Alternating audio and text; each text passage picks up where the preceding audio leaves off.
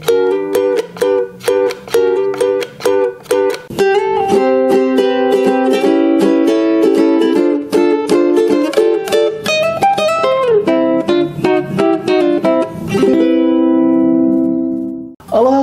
pecinta bola, balik lagi sama saya Irfan. Bagi kalian yang baru nambah channel ini, silahkan nanti bisa dicek video-video yang lain karena banyak sekali informasi seputar ukulele yang mungkin sedang kalian cari dan bisa bermanfaat buat kalian. Dan hari ini saya mau unboxing lagi sebuah ukulele. Ukulele ini cukup unik dan saya suka banget bodinya, agak jesi-jesi gitu. Jadi biar gak penasaran langsung aja kita buka yuk. Jadi ini ukulelenya ya. Ini ukulele soprano saya beli di mana ya? Saya lupa. Ini sebenarnya saya beli udah lama uh, beberapa bulan yang lalu cuman belum saya buka. Kalau nggak di Shopee di Lazada kalau nggak salah. Nanti saya tulis linknya di deskripsi ya. Harganya lupa lagi saya juga sekitar 300 berapa gitu 300 sampai 400an kalau nggak salah. Gitu ya kita buka. Iya gitu lembar aja. Uh, ini ini. Nggak ada apa-apa. Uh, kita buka ya Aduh, batuk. Nah, ini dia ukurnya. Kita lihat. Iya. Yeah. Seret. Nah, eh, yang kan oh iya. Uh. Iya, ini dia. Wih, mantul. Ini Irin ya mereknya. Tapi yang saya suka ini nih si sound hallnya kayak gini agak ngejazz gitu ya. Dan di sini ada sound hallnya juga. Mungkin lebih dekat biar lebih jelas ya. Oke kawan-kawan jadi seperti ini ya. Wih, ini keren banget sih ukulelenya tuh. Asai kan ya. Wih. lihat nih ini soprano. Mungkin keseluruhan seperti ini. Kita lihat dari headstocknya dulu kali ya seperti biasa. Nah ini headstocknya ada tulisan irin mantul. Terus ini ada aksen kayak gini nih pinggir-pinggirnya bagus. Ini bodinya mahoni cuman ini kayak dilapisi sama kulit rosewood gitu atau nggak tahu dicat juga kayaknya dilapisi deh. Di sini kayak dilapisi sama lapisan kayu lagi yang rosewood. Ini cantik banget. Lalu di belakangnya seperti ini ya ini tuningnya atau dryernya chrome close gear ya. Kayak gini. Tuh mantul. Ini necknya juga rapi banget. Tuh mahoni. Ini depannya fingerboardnya rosewood. Terus ada fretnya tiga seperti biasa. Nah ini natnya tulang ya. Mantul. Ini ada 12 fret Lalu di sini sudah dapat pin strap mantap. Ini ada dua pin strapnya untuk depannya seperti ini nih. Ini yang saya suka nih si sound hallnya nih kayak gitar-gitar Jesse gitu, gitar-gitar hollow body ya. Yeah. Lalu di sini ada lubang lagi sound hall juga. Jadi ini fungsinya untuk monitor. Jadi ketika kita main di sini, ini soundnya keluar dari sini, jadi kedengaran lebih kedengaran ke si player gitu ya terus ini bridge-nya standar sih rosewood ya. Ininya saddle-nya juga tulang. Sebenarnya nggak ada tagnya kemungkinan akila kemungkinan saya nggak tahu ya. Cuman kayak gini ini nilon. Kemudian ini belakangnya ak body ya ini tuh agak cembung gini emang sengaja kayak gini cembung. Yang cembung kayak gini tuh biasanya di bagian backnya ini di dalamnya nggak ada bracingnya. Tuh nggak kan nggak ada bracingnya misalkan kawan-kawan lihat nggak kelihatan ya. Pokoknya kalau misalkan yang kayak gini melendung gini ini tuh bagian sini tuh nggak ada bracingnya nggak ada tulangnya gitu. Nggak jelek juga sih. Nah ini sampingnya ya. Ini semuanya mahoni laminate. Sampingnya seperti ada binding padahal ini cuma cat doang. Tuh tapi secara estetika bagus ya. Tuh begitu. Ya ini juga bukan binding cuma cat doang. Tuh. Mantul ya? Kita coba bagaimana soundnya. Oh ya ini sebetulnya ada yang konset sama tenornya cuman saya beli yang soprano. Karena saya lebih suka yang kecil kalau yang unik-unik kayak gini. Mantul ya? Kita coba tuning dulu. Oke kawan-kawan ini saya sudah tune dengan tuning standar G C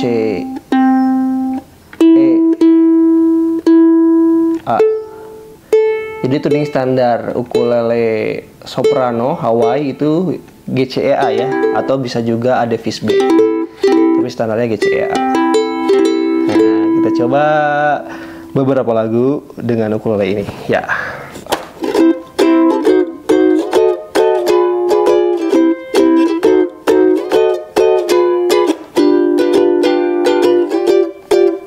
Balonku Bye.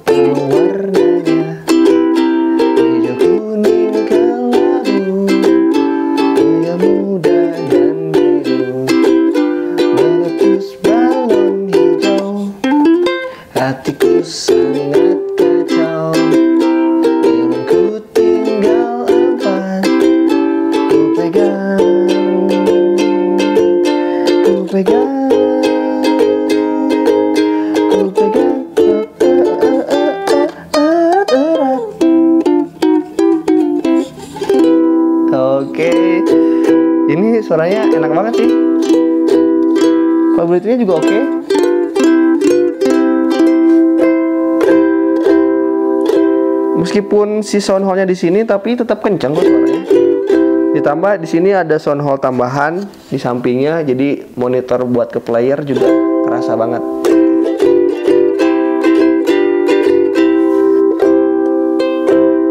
Malah lebih kencang ke sini sih menurut saya mah.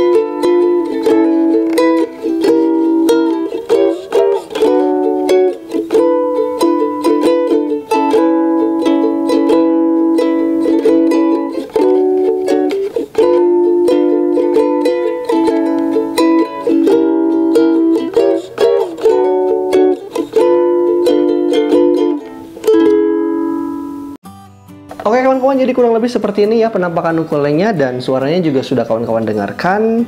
Kalau menurut saya pribadi dari segi suara kurang lebih mirip-mirip dengan ukulele di kisaran harga 300 sampai 400 ribuan. Tapi kalau dari segi desain ini saya suka banget, unik banget, keren ya kayak gini, nggak pasaran dan worth untuk dibeli sih kalau menurut saya.